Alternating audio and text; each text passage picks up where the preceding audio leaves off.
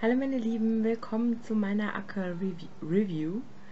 Ähm, ich wollte einfach mal ein bisschen so erzählen zum Acker, weil da immer mehr Fragen kommen. Und ja, das ist das Video dazu. Ähm, ich weiß nicht, ob sich überhaupt Leute anschauen, ob sich überhaupt Leute dieses Video anschauen, die sich für Beauty interessieren. Aber ich habe mich heute wieder mit der Urban Decay ähm, Weiß 3 Palette geschminkt. Heute recht natürlich, was ist natürlich, aber halt ähm, nicht bunt. Ähm, ist jetzt aber auch schon den ganzen Tag alt. Also ich habe mich heute Morgen so gegen sieben geschminkt und jetzt ist es, Moment, Viertel nach fünf. Ja. Also, ich kann mich nicht beschweren. Man kann also auch was Natürliches damit schminken, wollte ich damit sagen. So, vielleicht beginne ich einfach mal damit, wie ich dazu gekommen bin, ähm, einen Acker zu mieten.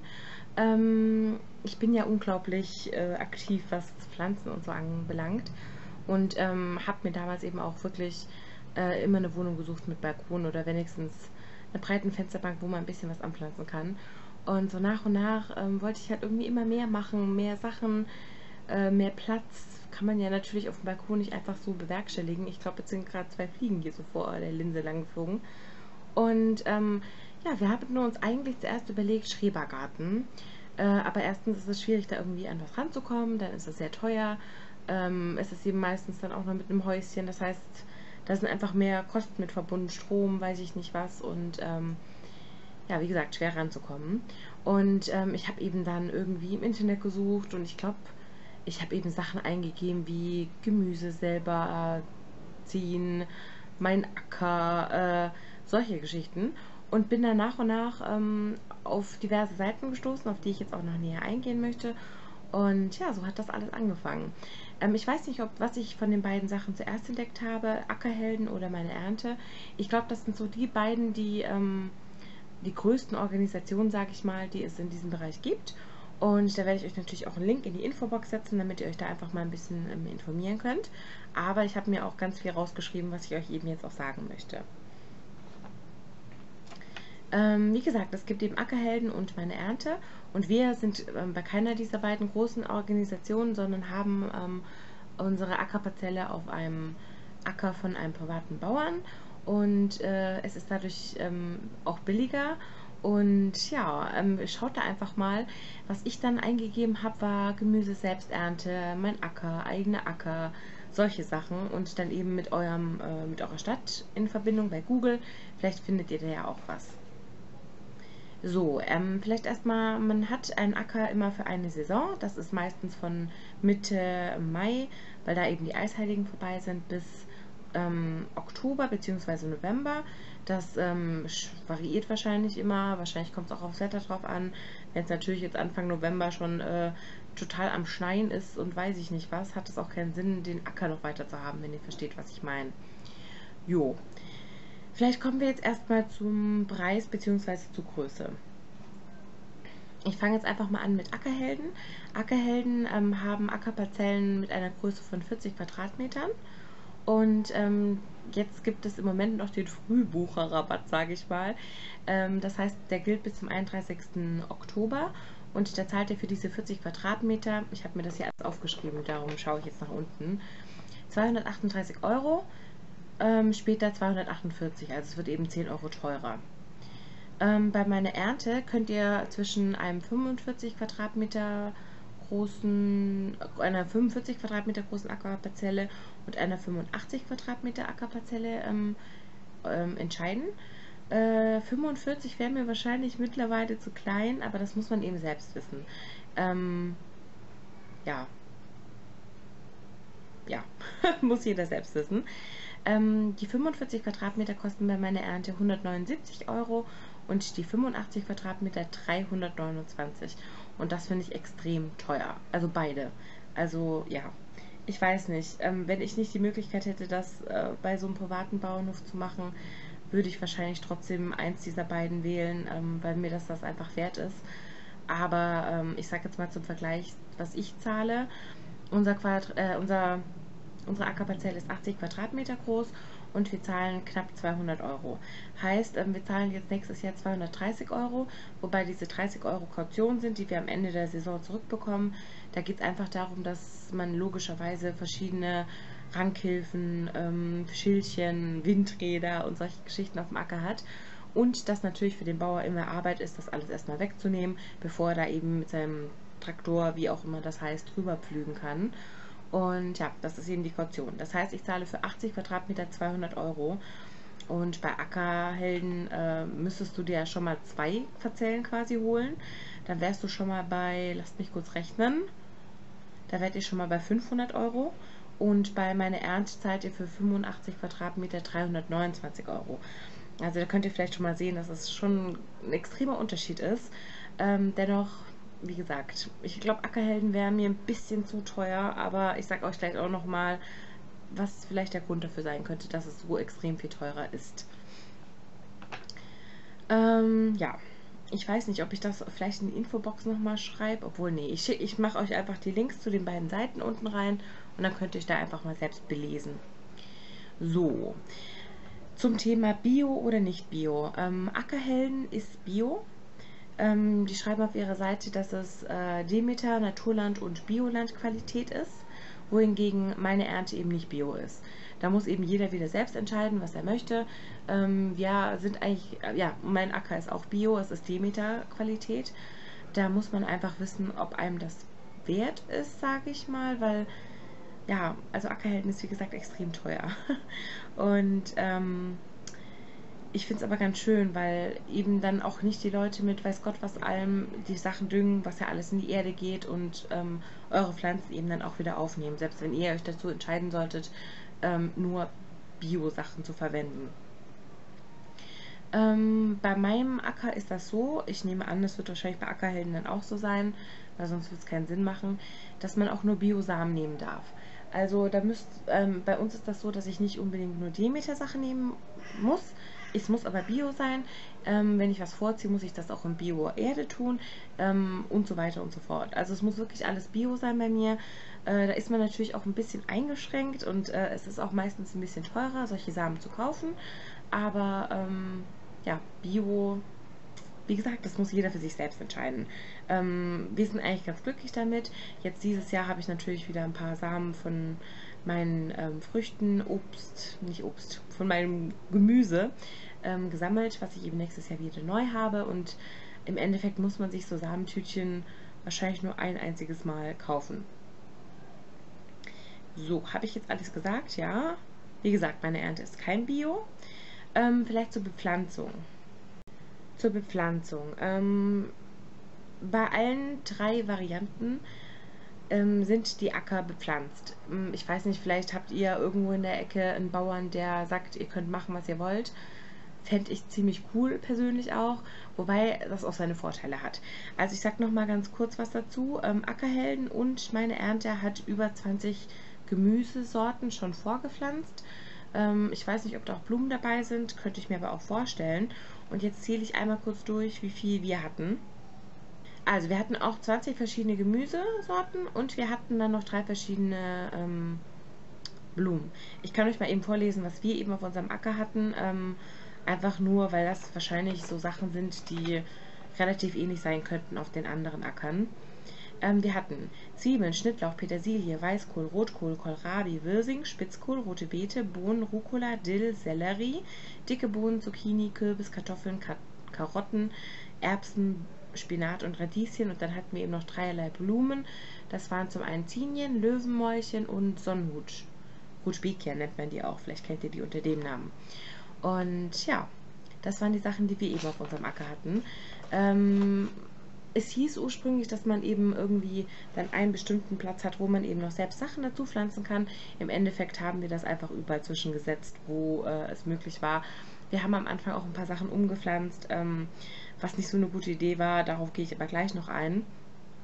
Und was wir eben noch dazu gepflanzt hatten, waren Tomaten, Sonnenblumen, noch ähm, ein paar ähm, Blütenmischungen. Da habe ich vor allem essbare Blütenmischungen genommen, weil man die eben auch noch essen kann äh, Mais, Gurke, Mangold, Rettich, Aubergine, Paprika, Chili. Und außerdem habe ich noch ein paar Bohnen und Erbsen und Karotten nachgesät. So, dann ähm, werde ich ähm, auch des Öfteren gefragt, wie viel Zeit man denn ähm, für so einen Acker investieren muss. Äh, ich habe ja jetzt ähm, Mitte des Jahres, ja, Anfang Mitte des Jahres mein Studium beendet und hatte erstmal äh, noch keinen Job. Das heißt, ich hatte extrem viel Zeit und äh, war jeden Tag auf dem Acker. Und zum Teil war ich da auch fünf Stunden auf dem Acker, was aber nicht heißt, dass ich fünf Stunden dort gearbeitet habe, sondern ich habe dann natürlich auch viele nette Leute kennengelernt, mit denen ich dann meine Zeit verbracht habe. Wir saßen dann irgendwie zusammen, haben gequatscht, haben Kaffee getrunken, ähm, erzählt und ja, ist einfach schön. Ähm, ich fand's, ich habe euch ja Bilder gezeigt. Ich kann euch nachher auch gerne noch mal ein kleines Bildersammelsurium hinten ranhängen. Es ist einfach eine schöne Atmosphäre. Und ähm, ja, darum habe ich sehr viel Zeit am Anfang bis Mitte des Jahres auf meinem Acker verbracht. Jetzt, wo ich arbeite, ist das natürlich eine andere Sache. Ähm, wobei ich auch sagen muss, jetzt wird eben langsam auch schon früher dunkel.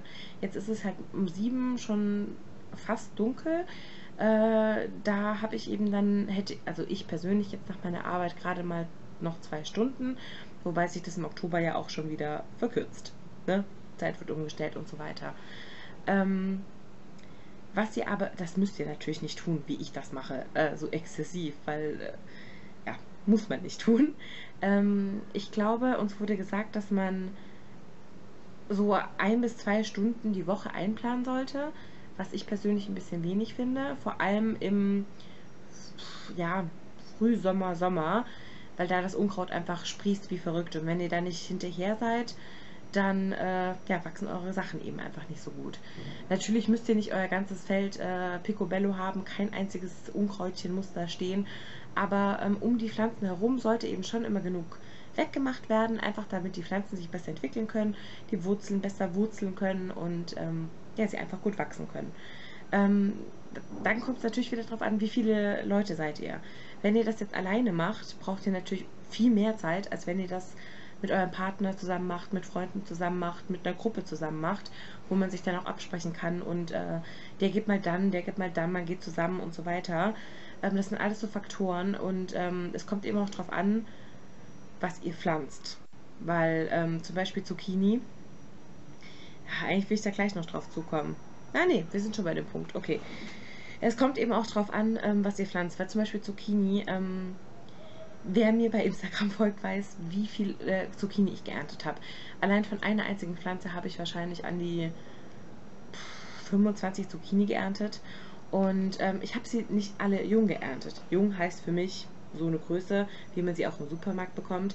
Nein, ich habe zum Teil solche Brummer gehabt und äh, ja, darum solltet ihr regelmäßig da sein, um eben sowas zu verhindern. Ich meine, ich war jeden Tag da, aber ich habe irgendwann dann gedacht, so, nee, ich möchte diese Zucchini nicht mitnehmen. Mein ganzer Kühlschrank ist voll mit Zucchini. Ihr müsst einfach mal auch gucken, welche Sachen esse ich gerne, was möchte ich wirklich auf meinem Acker haben. Ich bin Zucchini-Fan, aber irgendwann war ich, hatte ich einfach auch keine Lust mehr. Und ähm, ja, solche Sachen solltet ihr euch vielleicht im Vorhinein überlegen. Ähm, es ist immer gut, sich früh genug Gedanken darüber zu machen, was man im nächsten Jahr machen möchte, weil viele Sachen muss man, muss man eben schon im Februar anpflanzen. Ähm, ja, das ist jetzt aber eigentlich überhaupt nicht das Thema gewesen. So, was wollte ich noch sagen? Zeit, ja, okay. Ja, dann wollte ich noch ein bisschen darauf eingehen, ähm, was gut auf dem Acker gegangen ist und was schlecht auf dem Acker gelaufen ist.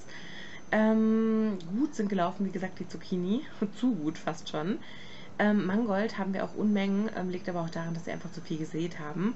Und Kürbisse haben wir auch einige. Wir haben Hokkaido-Kürbisse, ähm, wobei ich mir wahrscheinlich äh, für nächstes Jahr auch ein paar äh, dieser Halloween-Kürbisse pflanzen möchte. Und was nicht gut gelaufen ist, beziehungsweise ja, wo es Probleme gab, ist zum, zum einen der Spinat. Ja, was heißt Probleme? Der ist äh, sehr früh da gewesen. Ich glaube, man hat ihn schon eine Woche nachdem wir den Acker übernommen haben, ähm, ernten können.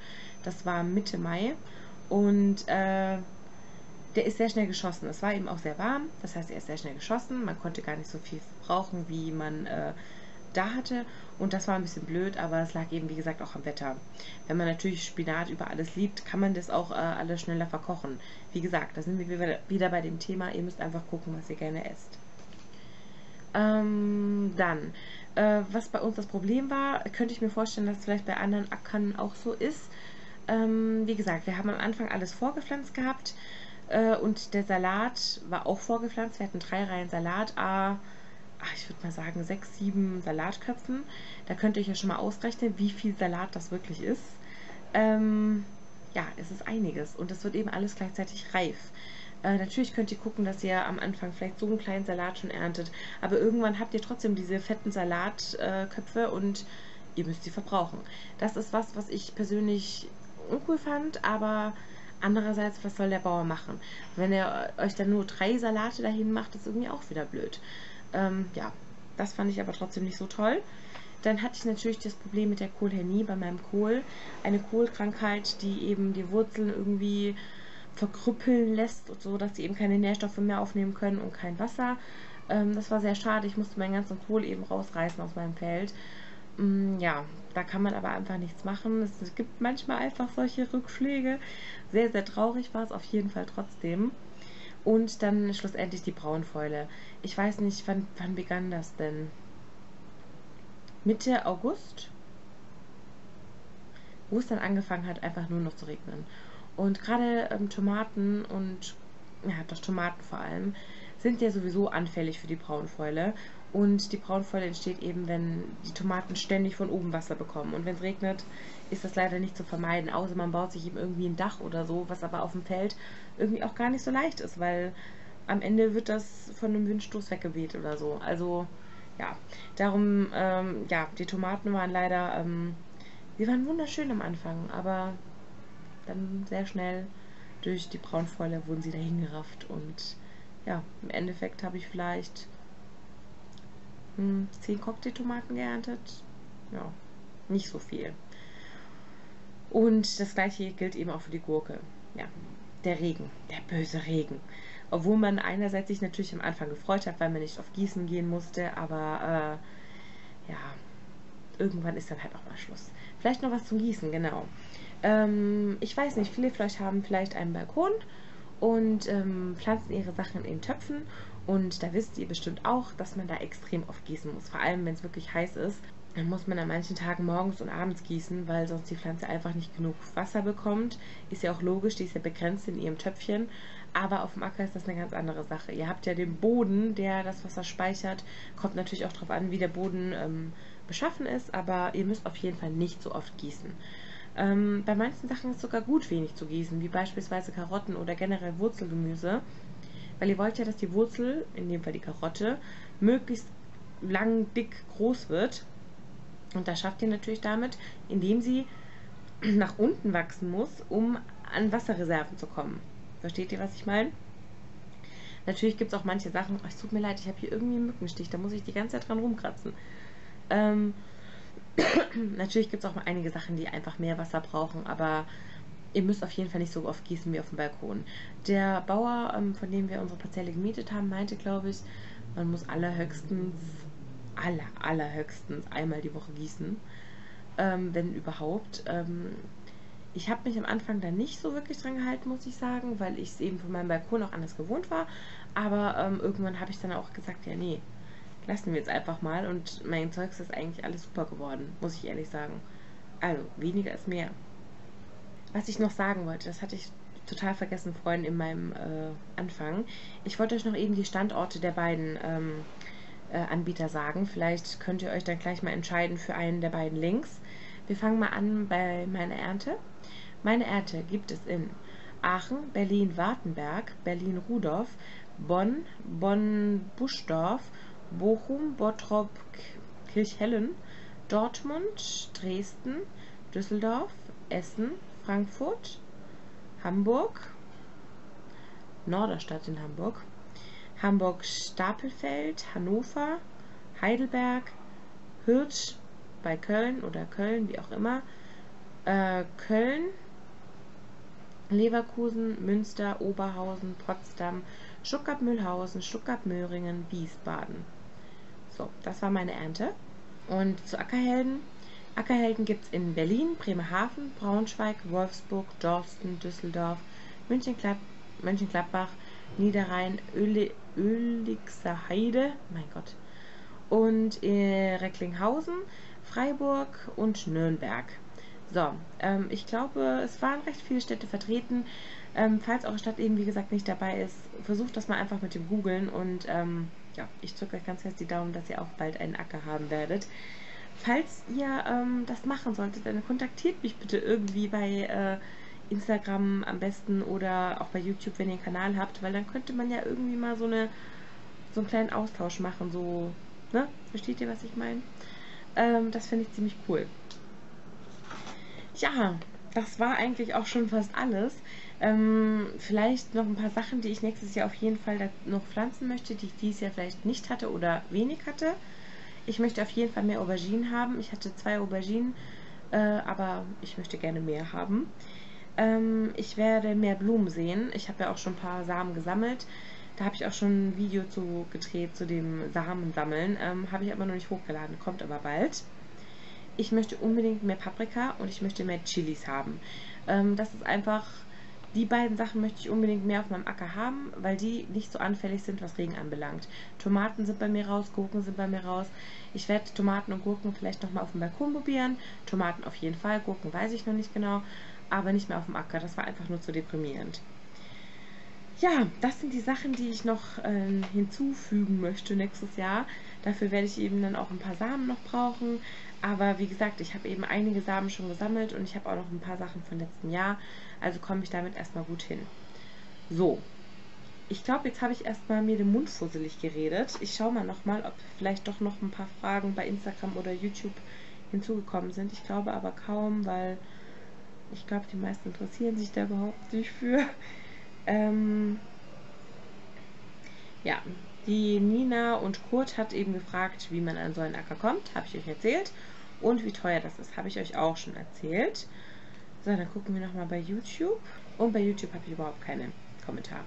Ich werde das Video jetzt einfach auch mal löschen, weil, äh, ja, wir haben das ja jetzt schon durch. Ich, hab, ich bin ja gerade dabei, das Video äh, zu ähm, drehen. Darum hat es jetzt keinen Sinn, falls ihr mir hier nochmal irgendwie äh, was schreiben wolltet. Versteht ihr?